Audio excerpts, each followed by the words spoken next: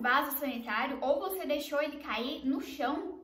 Você deu alguma IST ou se não alguma doença que nós mulheres somos suscetíveis a ter, como por exemplo a candidíase e usou o seu coletor? Não se desespere, tem uma forma super fácil de contornar esse problema e você não precisa jogar o seu coletor fora. Vamos lá! Eu sou a Jess e no vídeo de hoje eu vou ensinar para você uma maneira super fácil de esterilizar o seu coletor para quem não tem autoclave. Se você gosta desse tipo de vídeo, já se inscreve aqui no canal, dá muitos likes no vídeo para ajudar a gente. Me segue lá no Instagram também, arroba Xavier. Eu já deixei o meu coletor cair no vaso sanitário e eu segui esse passo a passo e deu certo. Eu consegui usar ele depois, não tive nenhuma infecção, não tive nenhuma alteração ali na flora do meu canal vaginal. Primeiro, preciso falar que essa receitinha eu tirei do grupo Coletores Brasil lá no Facebook. Esse grupo me salva em todos os momentos. Foi lá onde eu consegui finalmente escolher o meu coletor. Foi lá onde eu encontrei essa receitinha de esterilização do coletor, do coletor, ainda bem, e eu vou compartilhar ela agora com vocês. O primeiro passo, pessoal, é com hipoclorito de sódio. O que, que é isso? É a água sanitária, não tem como ser mais fácil. Em um recipiente não metálico, você vai diluir a água sanitária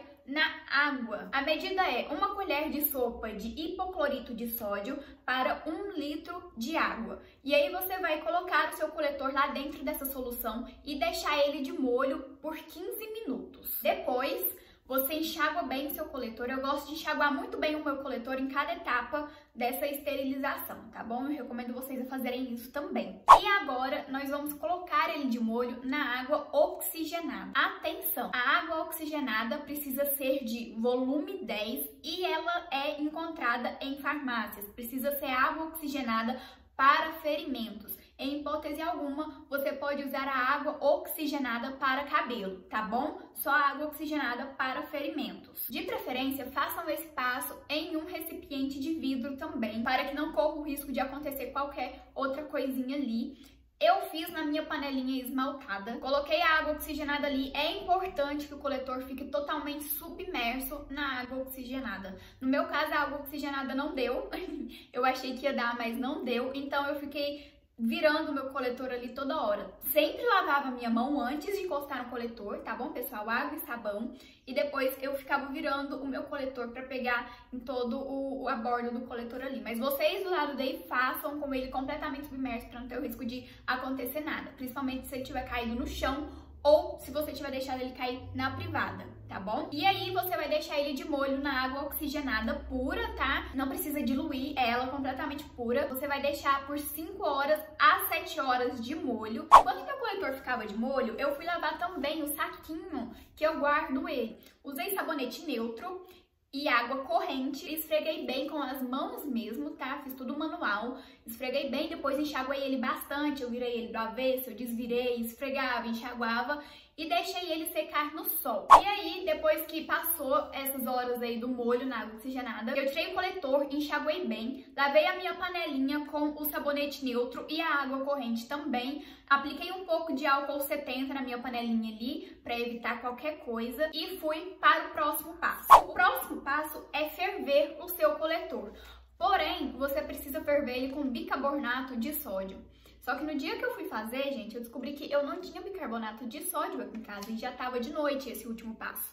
Então, eu fiz o seguinte, eu só fervi o meu coletor na panelinha mesmo por 10 minutos, tá? Eu deixei ele ali fervendo por 10 minutos e guardei. E posteriormente, depois, eu vou fazer esse passo do bicarbonato de sódio. Eu só fervi ele pra guardar mesmo, pra tirar qualquer cheirinho de produto, seja de água sanitária ou oxigenada que pudesse ter ficado. Mas, se você já tiver o bicarbonato de sódio aí, é recomendado que você faça esse passo a passo seguido do outro, tá bom? Então, vai ser da seguinte forma. 500 ml de água, para uma colher de café de bicarbonato de sódio. Você mergulha o seu coletor ali e deixa fervendo por 5 minutinhos. Depois, você enxágua o seu coletor muito bem. É importante você enxaguar bem para não ficar nenhum resíduo de bicarbonato de sódio no seu coletor.